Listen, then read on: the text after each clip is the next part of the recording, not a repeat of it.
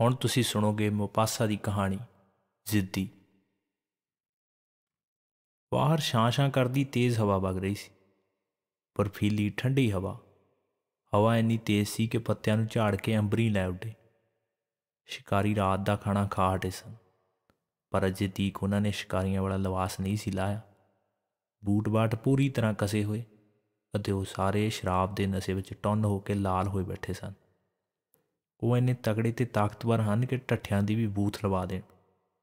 ਉਹ ਸਾਰੇ ਜਣੇ ਹੀ ਅਰਧ ਨਾਰਮਲ ਜ਼ਿਮੀਂਦਾਰ ਸਨ, ਜਿਹੜੇ ਅੱਧੇ ਪਿੰਡੂ ਤੇ ਅੱਧੇ ਸ਼ਹਿਰੀ ਪੈਸਿਆਂ ਵਾਲੇ ਕਮੰਡੀ ਜਿਹੇ ਹੁੰਦੇ ਹਨ। ਉਹ ਸਾਰੇ ਮਿਲ ਕੇ ਜਨਾਬ ਬਲਾਡੇਲ ਦੇ ਖੇਤਾਂ ਵਿੱਚੋਂ ਸ਼ਿਕਾਰ ਕਰਕੇ ਮੁੜੇ ਸਨ। ਜਨਾਬ ਬਲਾਡੇਲ ਐਪਰਾਬਲੇ ਦਾ ਮੇਅਰ ਸੀ। ਹੁਣ ਉਹ ਇੱਕ ਵੱਡੀ ਮੇਜ਼ ਦੁਆਰੇ ਬਹਿ ਕੇ ਰਾਜਮਾ ਖਾਣਾ ਖਾ ਰਹੇ ਸਨ। ਉਹ ਜ਼ੋਰ-ਜ਼ੋਰ ਨਾਲ ਆਪਸ ਵਿੱਚ ਗੱਲਬਾਤ ਕਰ ਰਹੇ ਸਨ। ਅਤੇ ਕਿਸੇ ਢੀਠ ਸ਼ਰਾਬੀ ਵਾਂਗ ਰੱਜ ਕੇ दारू ਪੀ ਰਹੇ ਸਨ। ਲਾਲਟੈਣਾ ਦੀ ਰੌਸ਼ਨੀ ਵਿੱਚ ਉਹਨਾਂ ਦੀਆਂ ਅੱਖਾਂ ਚਮਕ ਰਹੀਆਂ ਸਨ। ਅੰਗੀਠੀ ਵਿੱਚ ਅੱਗ ਬਲ ਰਹੀ ਸੀ ਅਤੇ ਉਸ ਦਾ ਸੇਕ ਇੰਨਾ ਤੇਜ਼ ਸੀ ਕਿ ਛੱਤ ਤੇ ਲੱਗੇ ਮੱਕੜੀਆਂ ਦੇ ਜਾਲੇ ਵੀ ਕੰਬ ਰਹੇ ਸਨ। ਸ਼ਰਾਬ ਦੇ ਨਸ਼ੇ ਕਾਰਨ ਉਹਨਾਂ ਦੇ ਅਚੇਤ ਮਨਾਂ ਵਿੱਚ ਪਈਆਂ ਗੱਲਾਂ ਨਿਕਲ ਕੇ ਸਾਹਮਣੇ ਆ ਰਹੀਆਂ ਸਨ। ਅਚਾਨਕ ਸਾਰਿਆਂ ਦੀ ਨਿਗਾਹ ਉਸ ਨਰੋਈ ਦੇਹ ਵਾਲੀ, ਥੁਲਥੁਲੀ ਜਹੀ, ਜਵਾਨ, ਖੂਬਸੂਰਤ ਕੁੜੀ ਵੱਲ ਚਲੀ ਗਈ।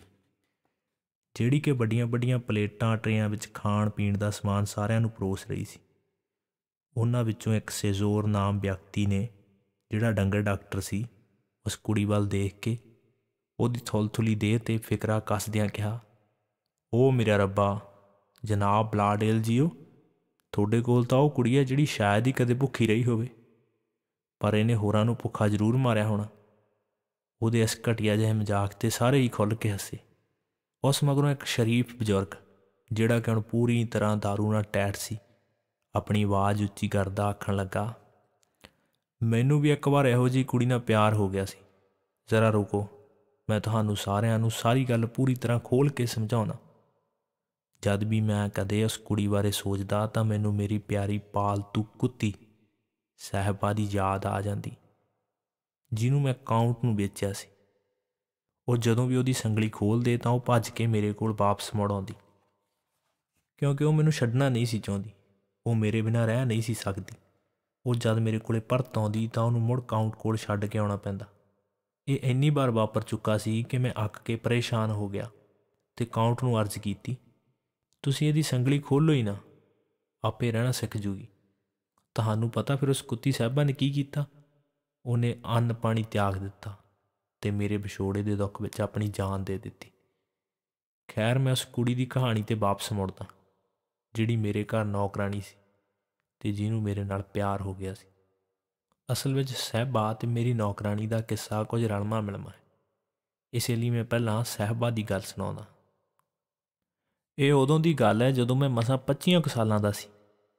ਵਿਆਹ ਨਹੀਂ ਸੀ ਅਤੇ ਮੈਂ ਬਿਲੇਬੌਨ ਵਿਖੇ ਬਿਲਕੁਲ ਇਕੱਲਾ ਰਹਿੰਦਾ ਸਾਂ। ਤੁਹਾਨੂੰ ਪਤਾ ਹੀ ਹੈ, ਜਦ ਬੰਦਾ ਜਵਾਨ ਹੋਵੇ, ਜੇਬ ਵਿੱਚ ਪੈਸਾ ਹੋਵੇ, ਤਾਂ ਬੈਬਤਾਂ ਹੀ ਸੋਚਦੀਆਂ ਨੇ। ਫਿਰ ਬੰਦਾ ਹਰੇਕ ਸ਼ਾਮ ਨੂੰ ਘਰੋਂ ਬਾਹਰ ਨਿਕਲਦਾ ਤੇ ਰੋਜ਼ ਨਵਾਂ ਸ਼ਿਕਾਰ ਪਾਲਦਾ। ਮੈਂ ਵੀ ਇੱਕ ਜਵਾਨ ਕੁੜੀ ਲੱਭ ਲਈ, ਜਿਹੜੀ ਕਿ ਸਾਡੇ ਮਹੱਲੇ ਵਿੱਚ ਹੀ ਜਨਾਬ ਡੈਬਿਊ ਲੋਟੇਟ ਦੇ ਘਰ ਨੌਕਰਾਨੀ ਵਜੋਂ ਕੰਮ ਕਰਦੀ ਸੀ। ਉਹ ਕੁੜੀ ਮੇਰੇ ਦਿਲ ਨੂੰ ਪਾ ਗਈ। ਉਹ ਮਨ ਚਲੀ ਗਈ ਕੁੜੀ। ਮੈਂ ਉਹਦੇ ਮਾਲਕ ਕੋਲ ਪਹੁੰਚਿਆ ਅਤੇ ਬੇਨਤੀ ਕੀਤੀ ਕਿ ਜੇ ਉਹ ਆਪਣੀ ਨੌਕਰਾਨੀ ਨੂੰ ਆਪਣੇ ਘਰੋਂ ਹਟਾ ਕੇ ਮੇਰੇ ਘਰ ਕੰਮ ਤੇ ਲਗਵਾ ਦੇਣ, ਤਾਂ ਮੈਂ ਬੱਟੇ ਵਿੱਚ ਆਪਣੀ ਕਾਲੀ ਕੁੜੀ ਉਹਨਾਂ ਨੂੰ ਵੇਚ ਸਕਦਾ, ਜਿਹੜੀ ਮੰਗ ਉਹ ਪਿਛਲੇ 2 ਸਾਲਾਂ ਤੋਂ ਕਰ ਰਹੇ ਸਨ। ਡੀਲ ਡਨ ਹੋ ਗਈ। ਮੈਂ ਉਸ ਨੱਖੀ ਕੁੜੀ ਨੂੰ ਆਪਣੇ ਘਰ ਲੈ ਆਇਆ ਤੇ ਆਪਣੀ ਕਾਲੀ ਘੋੜੀ 300 ਕਰਾਊਨ ਵਿੱਚ ਜਨਾਬ ਡੈਬਿਊ ਲੋਟੇਟ ਦੇ ਘਰ ਛੱਡ ਦਿੱਤੀ। ਉਸ ਨੌਕਰਾਨੀ ਦਾ ਨਾਮ ਰੋਜ਼ ਸੀ। ਉਹ ਸੀ ਤਾਂ ਆਮ ਕੁੜੀਆਂ ਵਰਗੀ ਹੀ। ਬਸ ਉਹਦੇ ਵਿੱਚ ਇਹੋ ਗੱਲ ਖਾਸ ਸੀ ਕਿ ਮੈਂ ਉਹਨੂੰ ਪਸੰਦ ਕਰਦਾ ਸੀ ਤੇ ਉਹ ਵੀ ਮੈਨੂੰ ਪਸੰਦ ਕਰਦੀ ਸੀ। ਰੋਜ਼ ਦੀ ਮਾਂ ਵੀ ਇੱਕ ਨੌਕਰਾਨੀ ਹੀ ਸੀ ਅਤੇ ਰੋਜ਼ ਉਹਦੀ ਮਾਂ ਤੇ ਉਹਦੇ ਮਾਲਕ ਦੇ ਕਾਇਮ ਹੋਏ ਨਜਾਇਜ਼ ਸਬੰਧਾਂ ਵਿੱਚੋਂ ਜੰਮੀ ਸੀ। ਸ਼ੁਰੂ ਸ਼ੁਰੂ ਵਿੱਚ ਸਭ ਕੁਝ ਵਧੀਆ ਚੱਲਿਆ। ਅਸੀਂ ਦੋਵੇਂ ਸਿਰਕ ਨਾਲ ਇੱਕ ਦੂਜੇ ਨੂੰ ਪਸੰਦ ਕਰਨ ਲੱਗ ਪਏ ਸਾਂ। ਸਾਡੇ ਦਰਮਿਆਨ ਹਾਸਾ ਖੇਡਾ ਸ਼ਰਾਰਤਾਂ, ਛੇੜਖਾਨੀਆਂ, ਤਕਰਾਰ ਇੱਕ ਦੂਜੇ ਨੂੰ ਪਿਆਰੇ ਜਿਹੇ ਨਾਵਾਂ ਨਾਲ ਸੱਦਣਾ ਚੱਲਦਾ ਰਹਿੰਦਾ। ਅਤੇ ਹੋਰ ਵੀ ਬਹੁਤ ਕੁਝ ਜਿਹਾ ਸੀ, ਜਿਹਨੂੰ ਹੁਣ ਬਸ ਯਾਦ ਹੀ ਕੀਤਾ ਜਾ ਸਕਦਾ ਹੈ। ਉਹ ਮੇਰੇ ਘਰ ਨੌਕਰਾਨੀ ਵਜੋਂ ਕੰਮ ਕਰਦੀ ਸੀ। ਇਸ ਕਰਕੇ ਅਜੇ ਤੱਕ ਸਾਡੇ ਆਂਢ ਗੁਆਂਢ ਵਿੱਚ ਕਿਸੇ ਨੂੰ ਵੀ ਸਾਡੇ ਸੰਬੰਧਾਂ 'ਤੇ ਸ਼ੱਕ ਨਹੀਂ ਸੀ ਹੋਇਆ। ਹੌਲੀ ਹੌਲੀ ਉਹੀ ਹੋਇਆ ਜੋ ਹੋਣਾ ਸੀ।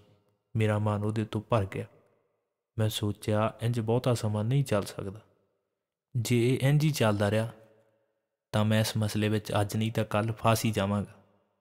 ਪਰ ਇਹ ਐਡਾ ਸੌਖਾ ਵੀ ਨਹੀਂ ਸੀ ਕਿ ਕੋਈ ਮੈਨੂੰ ਐਵੇਂ ਮੁੱਚੀ ਹੀ ਫਾ ਲਵੇ।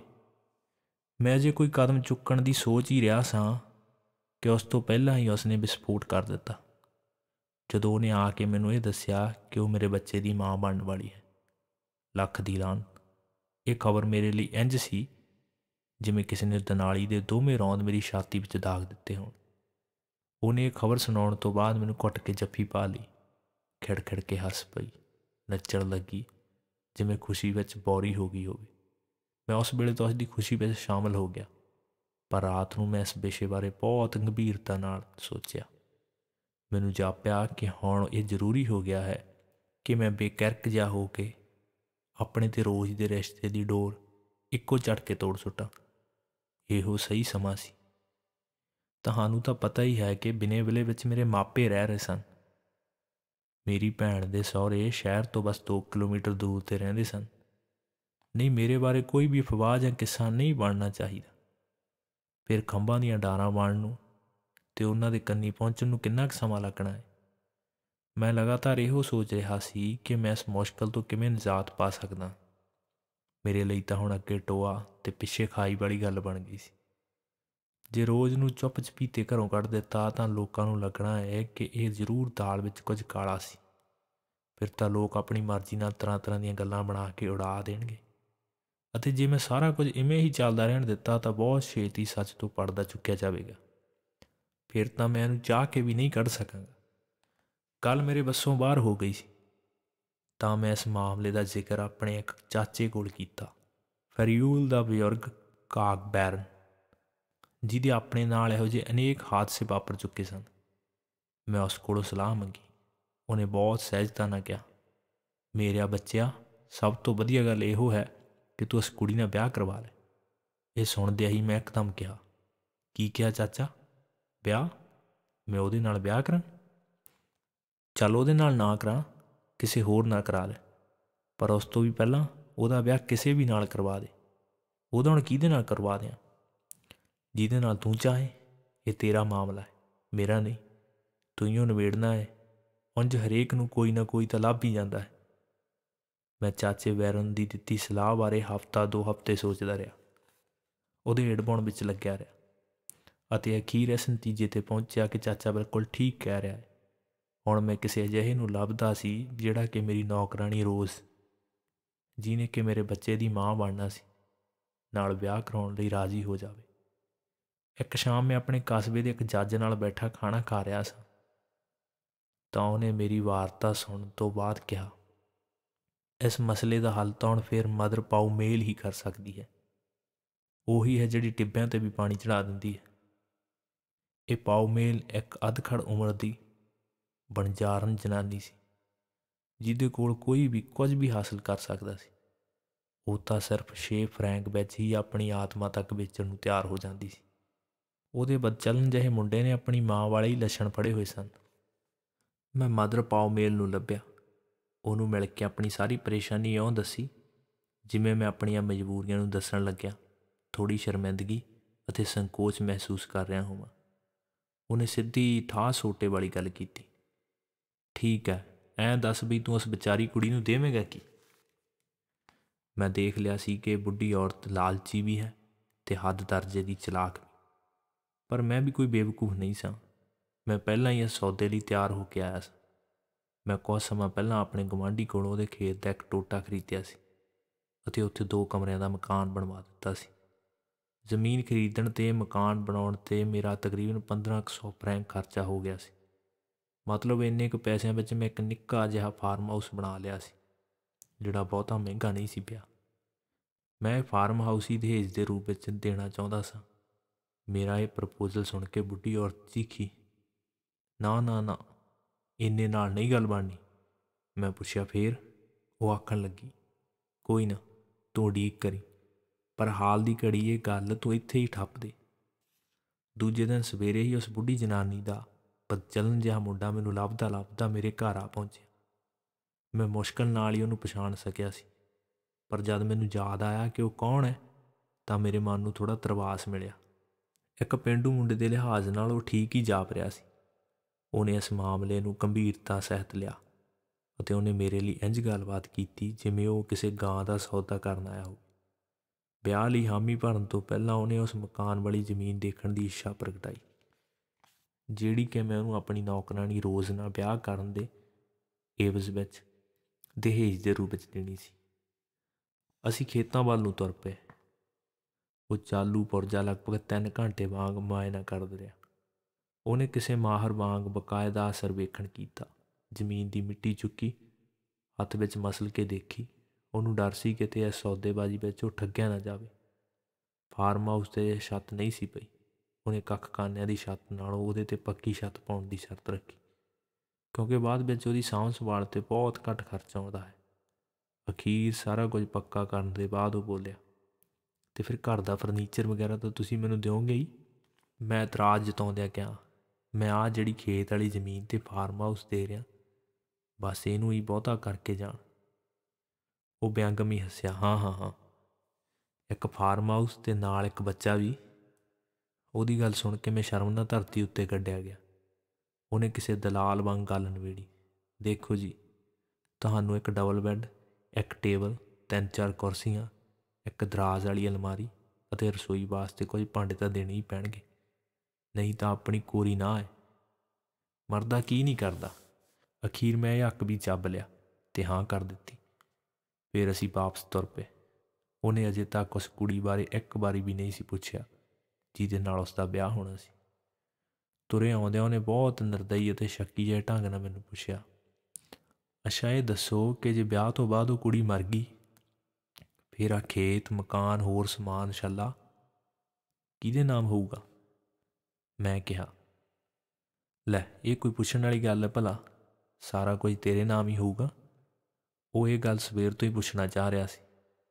ਬਸ ਉਹ ਤੋਂ ਪੁੱਛਿਆ ਨਹੀਂ ਸੀ ਗਿਆ। ਉਸ ਤੋਂ ਬਾਅਦ ਉਸਨੇ ਪੂਰੀ ਸੰਤੁਸ਼ਟੀ ਅਤੇ ਚਾਹ ਨਾਲ ਹੱਥ ਮੇਰੇ ਵੱਲ ਵਧਾ ਦਿੱਤਾ। ਮੈਂ ਹੱਥ ਮਿਲਾ ਲਿਆ।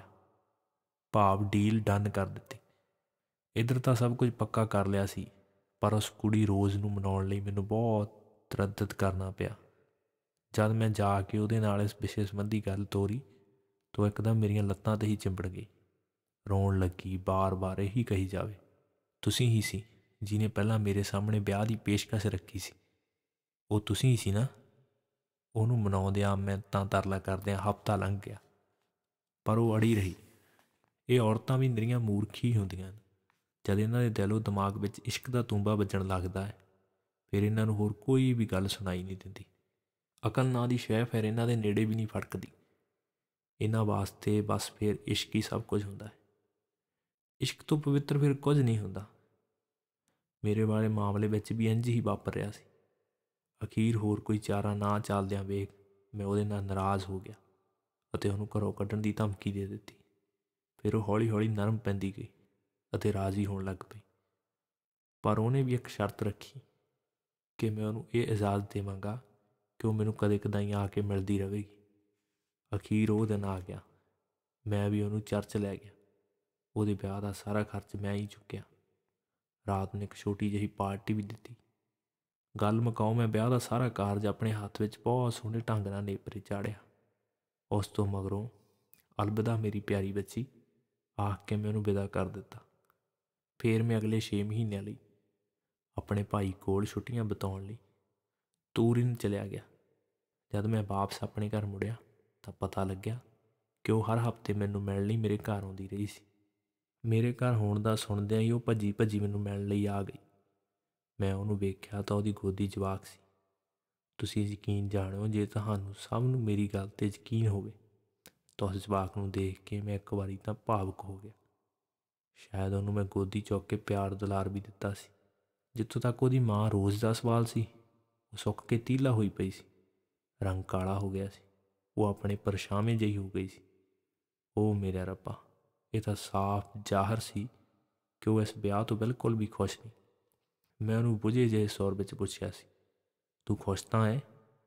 ਇਹ ਸੁਣਦਿਆਂ ਹੀ ਉਹਦਾ ਭਾਵਨਾਵਾਂ ਨੂੰ ਲਾਇਆ ਬੰਨ ਟੁੱਟ ਗਿਆ ਤੇ ਹੰਝੂਆਂ ਦਾ ਹੜ ਜਿਹਾ ਆ ਗਿਆ। ਉਹ ਤਾਂ ਹਾਂ ਮਾਰ ਕੇ ਰੋਈ। ਰੋਂਦਿਆਂ ਰੋਂਦਿਆਂ ਆਖਣ ਲੱਗੀ, ਮੈਂ ਤੁਹਾਨੂੰ ਕਦੇ ਵੀ ਨਹੀਂ ਭੁੱਲ ਸਕਦੀ, ਨਾ ਹੀ ਮੈਂ ਤੁਹਾਨੂੰ ਛੱਡ ਸਕਦੀ ਹਾਂ। ਇਹਦੇ ਨਾਲੋਂ ਤਾਂ ਮੈਂ ਮਾਰੀ ਜਾਣਾ ਪਸੰਦ ਕਰੂੰਗੀ। ਹੁਣ ਮੈਂ ਉੱਥੇ ਨਹੀਂ ਰਹਿ ਸਕਦੀ। ਉਹ ਚੀਕਾ ਮਾਰਨ ਲੱਗ ਪਈ। ਮੈਂ ਉਹਨੂੰ ਗਲ ਨਾਲ ਲਾ ਕੇ ਤਰਵਾਸ ਦੇਣ ਦਾ ਯਤਨ ਕੀਤਾ। ਜੋ ਕੁਝ ਵੀ, ਜਿੰਨਾ ਕੁਝ ਵੀ ਮੈਂ ਕਰ ਸਕਦਾ ਸੀ, ਮੈਂ ਉਹਦੇ ਲਈ ਕੀਤਾ। ਫਿਰ ਮੈਂ ਆਪ ਜਾ ਕੇ ਉਹਨੂੰ ਉਹਦੇ ਸਹੁਰੇ ਘਰ ਦੀ ਦਹਲੀਜ਼ ਤੱਕ ਛੱਡ ਕੇ ਆਇਆ। ਮੈਨੂੰ ਪਤਾ ਲੱਗਾ ਕਿ ਉਹਦਾ ਪਤੀ ਉਸ ਨੂੰ ਬੁਰੀ ਤਰ੍ਹਾਂ ਮਾਰਦਾ ਕੁੱਟਦਾ ਹੈ। ਉਹਦੀ ਜ਼ਾਲਮ ਸੱਸ ਨੇ ਉਹਦਾ ਜਿਉਣਾ ਦੁੱਬਰ ਕਰ ਰੱਖਿਆ ਹੈ। ਪਰ ਮੈਂ ਇਸ ਮਾਮਲੇ ਵਿੱਚ ਕੁਝ ਨਹੀਂ ਸੀ ਕਰ ਸਕਦਾ। ਦੋ ਦਿਨ ਬਾਅਦ ਉਹ ਫੇਰ ਮੇਰੇ ਘਰ ਆਈ ਤੇ ਆਉਂਦਿਆਂ ਹੀ ਮੈਨੂੰ ਧਾ ਕੇ ਗਲਵਕੜੀ ਪਾ ਲਈ ਤੇ ਫੇਰ ਮੇਰੇ ਪੈਰਾਂ ਨੂੰ ਫੜ ਕੇ ਰੋਂਦਿਆਂ ਹੋਇਆ ਆਖਣ ਲੱਗੀ, ਤੁਸੀਂ ਮੈਨੂੰ ਆਪਣੇ ਹੱਥੀ ਮਾਰ ਦਿਓ, ਪਰ ਹੁਣ ਮੈਂ ਉਸ ਘਰ ਵਿੱਚ ਮੁੜ ਕੇ ਪੈਰ ਨਹੀਂ ਪਾਉਣਾ। ਸ਼ਾਇਦ ਇਹੋ ਜਿਹਾ ਕੁਝ ਹੀ ਮੇਰੀ ਕੁੱਤੀ ਸਹਿਬਾ ਵੀ ਕਹਿੰਦੀ। ਜੇ ਕਿਤੇ ਉਹ ਬੋਲ ਸਕਦੀ। ਉਹ ਜ਼ਾਦਾਂ ਮੈਨੂੰ ਤੋੜ ਕੇ ਰੱਖ ਦਿੰਦੀਆਂ ਨੇ। ਮੈਂ ਇਸ ਝੰਜੜ ਤੋਂ ਛੁਟਕਾਰਾ ਜਾ ਪਾਉਣ ਲਈ ਇੱਕ ਵਾਰ ਫਿਰ ਤੋਂ 6 ਮਹੀਨਿਆਂ ਲਈ ਸ਼ਹਿਰ ਛੱਡ ਕੇ ਚਲਿਆ ਗਿਆ। ਜਦ ਵਾਪਸ ਮੁੜਿਆ ਤਾਂ ਪਤਾ ਲੱਗਿਆ ਕਿ ਮੇਰੇ ਮੁੜਨ ਤੋਂ ਤਿੰਨ ਹਫ਼ਤੇ ਪਹਿਲਾਂ ਹੀ ਉਹ ਮਰ ਗਈ ਸੀ। ਮਰਨ ਤੋਂ ਪਹਿਲਾਂ ਉਹ ਬਿਨਾਂ ਨਾਗਾ ਹਰ ਐਤਵਾਰ ਮੇਰੇ ਘਰ ਆਉਂਦੀ ਰਹੀ। ਠੀਕ ਮੇਰੀ ਕੁੱਤੀ ਸਾਹਿਬਾ ਦੇ ਵਾਂਗ। ਫਿਰ ਸੁਣਿਆ ਕਿ ਉਹਦੇ ਮਰਨ ਤੋਂ 8 ਦਿਨ ਬਾਅਦ ਉਹਦਾ, ਨਹੀਂ, ਸਾਡਾ ਬੱਚਾ ਵੀ ਮਰ ਗਿਆ। ਜਿੱਥੋਂ ਤੱਕ ਉਹਦੇ ਲਾਲਚੀ, ਬੁਰੇ, ਬਦਮਾਸ਼ ਘਰ ਵਾਲੇ ਦਾ ਸਵਾਲ ਹੈ, ਉਹਦੀਆਂ ਤਾਂ ਮੌਜਾਂ ਲੱਗ ਗਈਆਂ ਸਨ। ਕਿਉਂਕਿ ਉਹਦੀ ਪਤਨੀ ਦੀ ਮੌਤ ਤੋਂ ਬਾਅਦ ਸਾਰੀ ਹੀ ਚੱਲ ਤੇ ਅਚਲ ਜਾਇਦਾਦ ਦਾ ਉਹ ਕੱਲਾ ਹੀ ਵਾਰਸ ਬਣ ਗਿਆ ਸੀ। ਮੈਂ ਸੁਣਿਆ ਕਿ ਉਸ ਤੋਂ ਪਹਿਲਾਂ ਉਹ ਕਾਫੀ ਸੁਧਰ ਗਿਆ। ਅੱਜ ਕੱਲ ਤਾਂ ਉਹ ਸ਼ਹਿਰ ਦੀ ਨਗਰਪਾਲਿਕਾ ਵਿੱਚ ਕਿਸੇ ਅਹੁਦੇ ਤੇ ਹੈ। ਡੰਗਰ ਡਾਕਟਰ ਨੇ ਬਰਾਂਡੀ ਦਾ ਗਲਾਸ ਆਪਣੇ ਬੁੱਲਾਂ ਨੂੰ ਲਾਉਂਦਿਆਂ ਉਦਾਸ ਜਿਹੇ ਹੁੰਦਿਆਂ ਕਿਹਾ, ਤੂੰ ਜੋ ਮਰਜ਼ੀ ਕਹਿ, ਪਰ ਉਹਦੇ ਵਰਗੀ ਕੁੜੀ ਨਾਲ ਇਹ ਸਭ ਨਹੀਂ ਸੀ ਹੋਣਾ ਚਾਹੀਦਾ। ਤੁਸੀਂ ਸੁਣ ਰਹੇ ਸੀ ਮੋਪਾਸਾ ਦੀ ਕਹਾਣੀ ਜ਼ਿੱਦੀ।